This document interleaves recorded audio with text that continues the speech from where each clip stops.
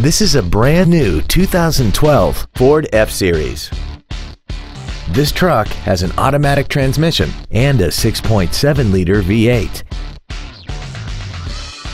All of the following features are included. Cruise control, full power accessories, a keyless entry system, the AdvanceTrac stability control system, side impact airbags, and air conditioning. Call now to find out how you can own this breathtaking automobile.